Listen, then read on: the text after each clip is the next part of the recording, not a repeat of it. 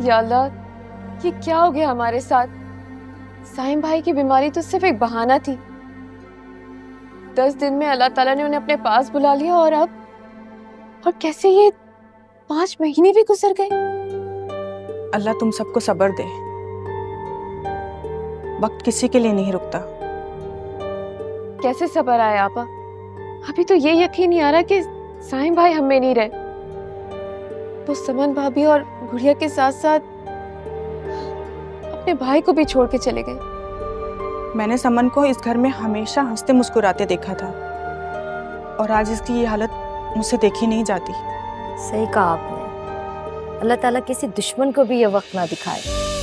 किसी ब्याहता औरत के सर से कभी सुहाग की चादर ना उतरे। किसी बच्ची का बाप कभी जुदा ना हो। और किसी बहन का भाई कभी दूर ना हो।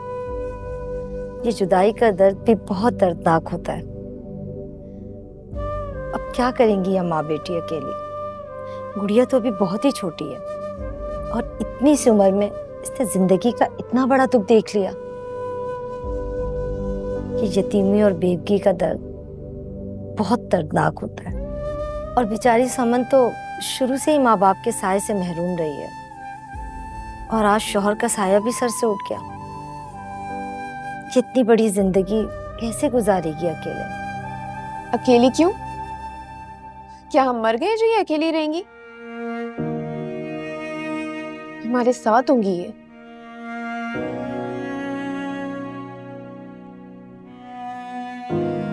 सोनू भाभी राहत ठीक कह रही है।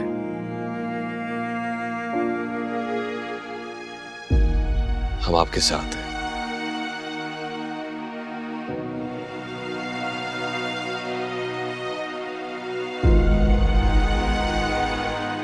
भाई थे वो मेरे। मेरा बाजू जितना आपको उनके जाने का दुख है, उतना मुझे भी है। भाई के जाने के बाद आप खुद को अकेला या बेसहारा मत समझिएगा। खालिद बिल्कुल ठीक कह रहे हैं। हम आपके साथ हमेशा हैं। आपको कभी अकेला नहीं छोड़ेंगे। जैसे ये पाँच महीने हम साथ रहे, इसी तरह हम सारी ज़िंदगी भी साथ रहेंगे। भाभी, आपको किसी भी किस्म की फ़िक्र करने की ज़रूरत नहीं है। मैं आपकी किफालत करूँगा। आज से राहत को आप अपनी छोटी बहन समझें।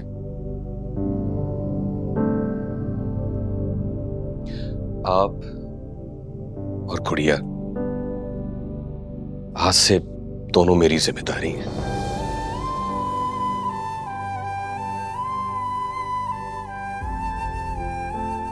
रोने की बिल्कुल भी ज़रूरत नहीं है, भाभी। बाजी, आप मोहल्ले में सबको बता दें कि भाभी के लिए कोई परेशान ना हो। मैं भी ज़िंदा हूँ। ठीक है, खालिद भाई। आपकी बातों से लग रहा है कि आपकी भाभी को अब किसी और की मदद की ज़रूरत नहीं पड़ेगी।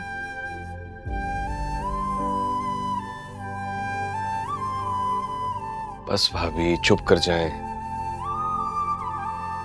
रोने से जाने वाले की रूह को बहुत तकलीफ़ होती है। मैं अपने जीते जी आपको कभी कोई तकलीफ़ नहीं पहुँचने दूँगा। आपको और खुड़िया को जमाने की सर्द गर्म हवाओं से बचा कर रखूँगा।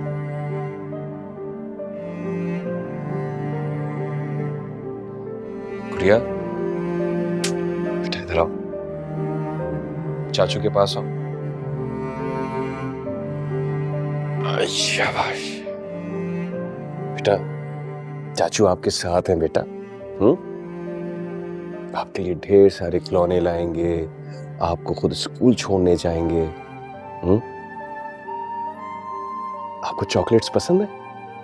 चाचू आपके लिए चॉकलेट्स भी लाएँगे तो आपने परेशान नहीं होना, बिल्कुल नहीं रोना, चाचू आपके साथ।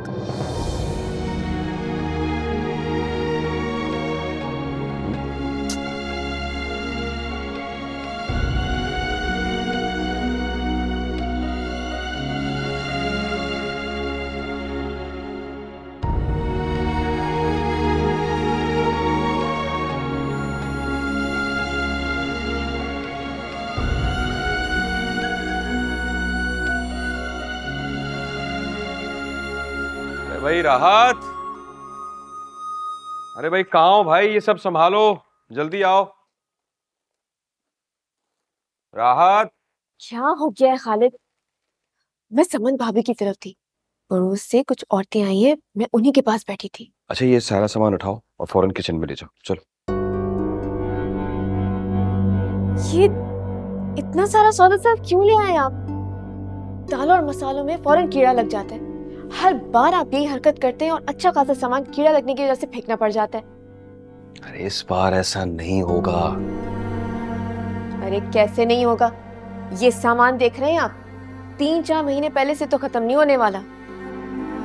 दिन का खाना आप ऑफ़िस में खा लेते रात को मेले कुछ ले आते।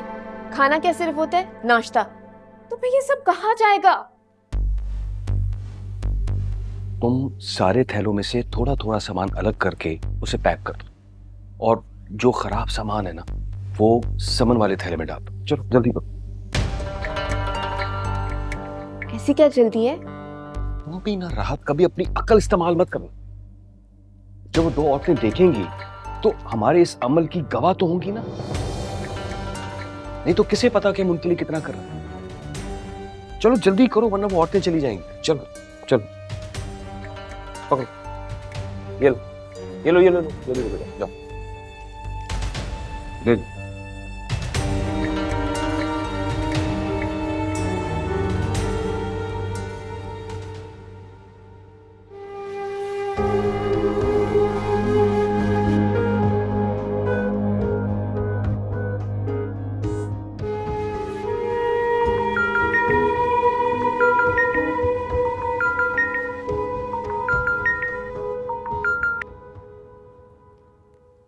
लो। अस्सलाम वालेकुम सनोबर कैसी हो? मैं ठीक हूँ। तुम ये बताओ कि समन कैसी मैं तो जब भी उससे बात करती हूँ वो जारो कतार रोने लग जाती है। हाँ बेचारी बस रोती ही रहती है। अभी दो दिन से तो मैं उनको अपनी तरफ़ लेकर आ गई थी। कल ही जिद करके अपने घर गई है।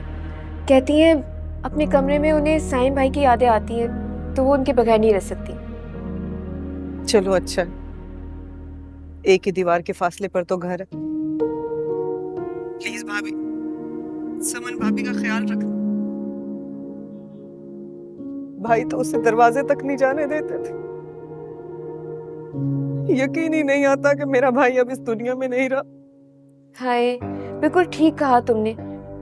खालिद को भी यकीन नहीं आता चुपके चुपके रोते रहते। अभी देखो महीने भर का राशन लेकर आ गए खालिद समन भाभी और गुड़िया के लिए ताकि समन भाभी को घर के बाहर ना जाना पड़े।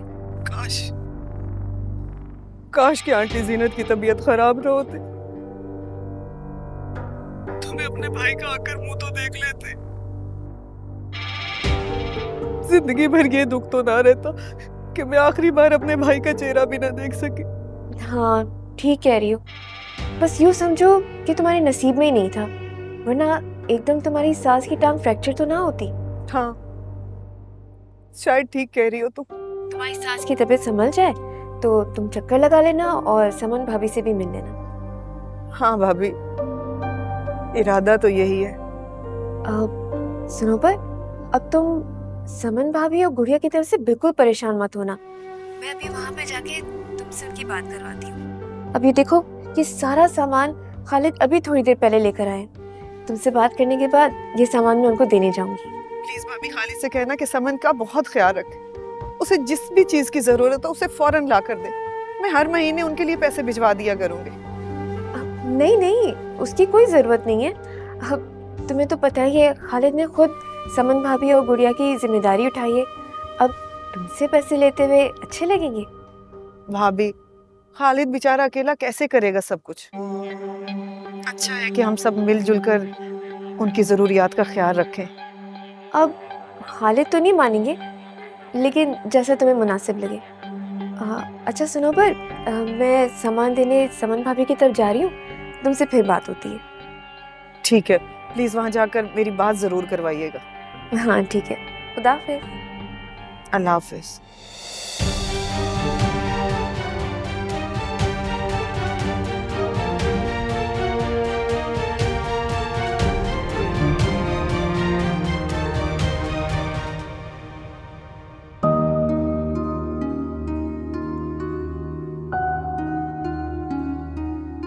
या अल्लाह, सुबह से ये वक्त हो गया, इसका बुखार ही नहीं उतर रहा। गुड़िया गुड़िया गुड़िया गुड़िया गुड़िया।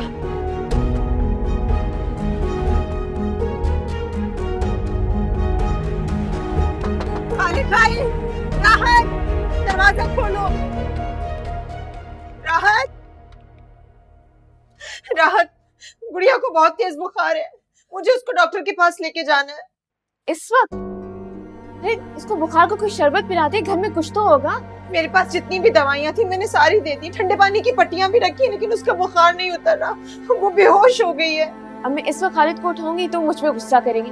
पूरा दिन फैक्ट्री से थक कर आते आप ऐसे करें आप सुबह आएगी समझ को ऐसा मत को राहत। मैं तुम्हारे आगे हाथ जोड़ती हूँ। मेरी बच्ची को बचा लो। अपने शोहर के बाद मैं अपनी बच्ची को नहीं खो सकती। प्लीज़ ऐसा मत करो। अच्छा अच्छा मैं खालिद को बोलती हूँ।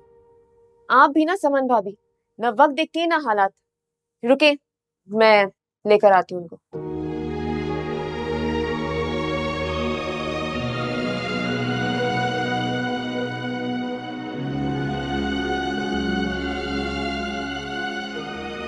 सारी मुसीबतें मेरे लिए तो रह गई हैं। सारा दिन ऑफ़िस की फैक्ट्री की चिक चिक। और जब घर आओ तो यहाँ भी सुकून नहीं है। अब क्या करूँ? वो रो रही है तो दिन भर याद नहीं था क्या कि बच्ची को बुखार है? दिन में डॉक्टर को दिखा लाती। मगर नहीं जी हमें जो तंग करना था। अब नहीं जाएँगे तो वो रोना पीटा डाल देगी। चार लोग सुनेंगे तो बनी बनाई इज़्ज़त मिट्टी मिल जाएगी। साइम भाई क्या चले गए? सारी मुसीबतें मेरे सर छोड़ गए। चलो।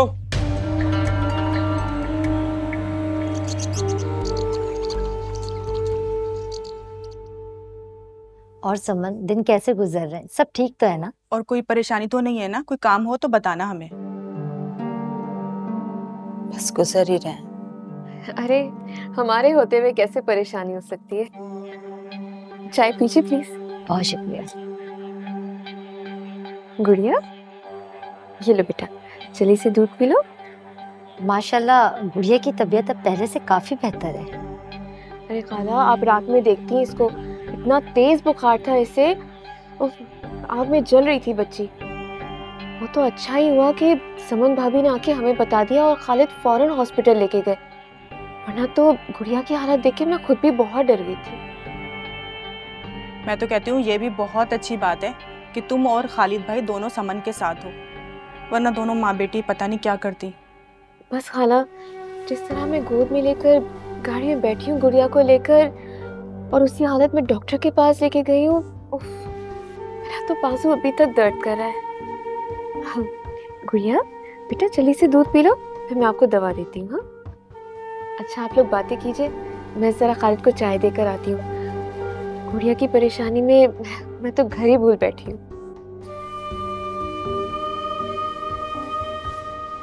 वैसे समन राहत और खालिद तुम्हारा कितना करते हैं ना?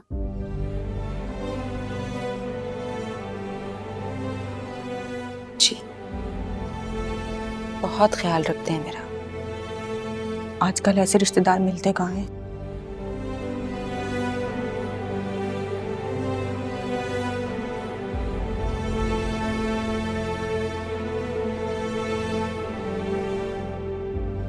भाई वाह, राहत। कीनू का जूस बहुत मज़े का बनाया है। समन बनाती थी, जब मैं साइम भाई के घर जाता था। साइम भाई को कीनू का जूस बहुत पसंद था। अब जूस पीते वक्त उनका नाम तो ना ले। आज अल्लाह ने आपके नसीब में लिखा है तो इसका मज़ा ले। वरना साइम भाई के आगे पीछे फिर फिर कर तो घर का गुजारा ही मुश्किल से होता था। हाँ ये बात तो है। अब फैक्ट्री में हिसाब किताब तो देना नहीं पड़ता। और देखो, फैक्ट्री से अच्छी खासी रकम आती थी।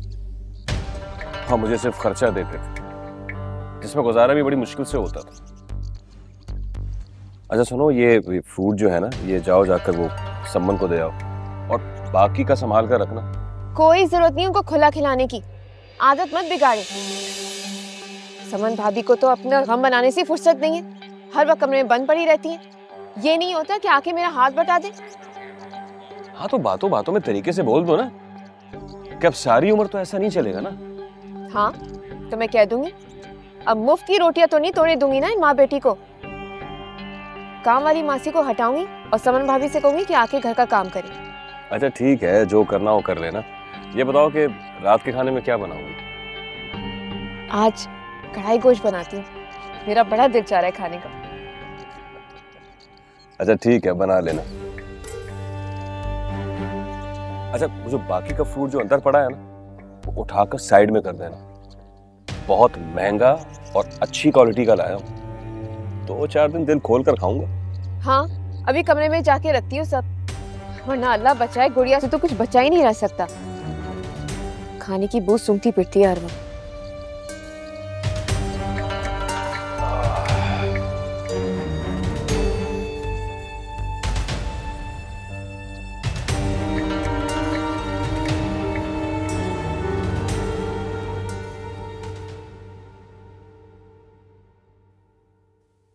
मुझे अनार खाने मुझे लाते हैं ना।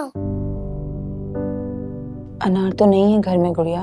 मामा मैं चाची के घर गई थी तो उनके घर देखे थे। उन्होंने मुझे नहीं दिए। मैंने खुद उन्हें फ्रूट बास्केट कमरे में छुपाते देखा था।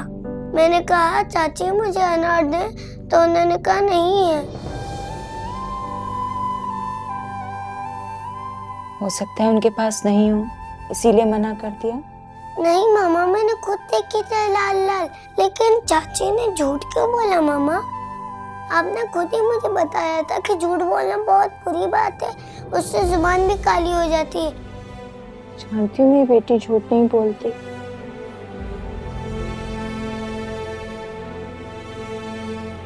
मैं आपको अनार ला के दूँगी। पक्का प्रॉमिस मामा? पक्का प्रॉमिस मुझे अनार का जूस बहुत पसंद है। जैसे पहले आप पापा और मेरे लिए बनाती थी मुझे बिल्कुल वैसा ही बना देना।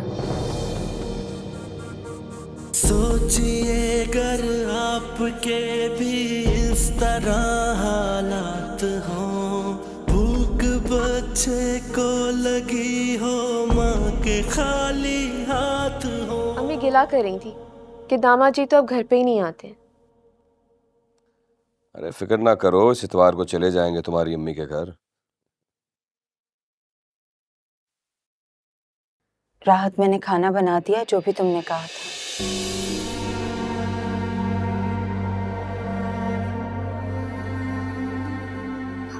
शुक्रिया समन भाभी। मेरे सर के दर्द ने तो मेरी मत ही मारी हुई थी। कहाँ बनाया जाता मुझसे? कोई बात नहीं। अम, आप ऐसा कीजिए ना कि अपने लिए और गुड़िया के लिए खाना ले लें। बल्कि रुके मैं आपके लिए निकालती हूँ। खालिद भाई मुझे कुछ पैसे मिल जाएँगे? आपको पैसों की क्या ज़रूरत है? ऐसी कौन सी चीज़ है जो खालिद आपको लाकर नहीं देते? वो गुड़िया के लिए कपड़े लेने थे। पिछले साल के कपड़े से छोटे हो गए हैं वो आते नहीं है उसे तो यूँ कहे ना कि आपको कपड़े लेने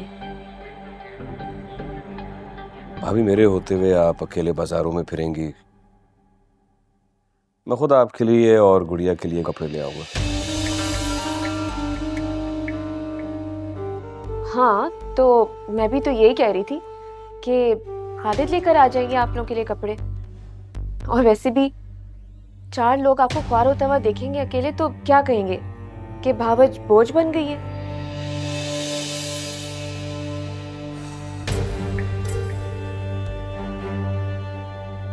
ठीक है। अ, आप अपने लिए और गुड़िया के लिए खाना देती जाइएगा।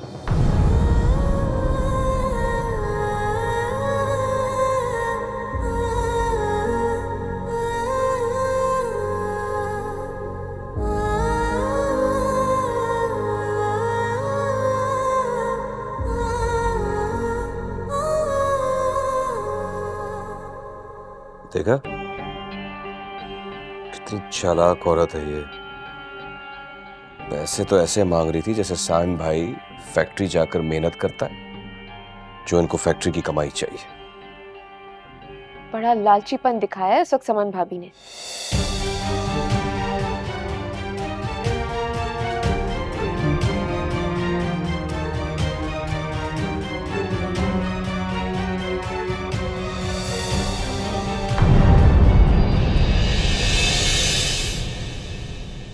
मम्मा क्या पका है? मुझे बहुत भूख लग रही है। अभी तो कुछ नहीं बनाया गुड़िया। मामा मुझे बहुत भूख लग रही प्लीज़ कुछ खाने को दे देना। काम मिलेगा तो ज़रूर करूँगी। मेरी काम वाली चली गई है। तो आप उसकी जगह काम कर लें। अरे बाजी आ- आप? आप कब आई बाजी? आपने अपने आने का किसी को कुछ बताया ही नहीं। आप मुझे बताती तो मैं अपनी बाजी को सीधा एयरपोर्ट से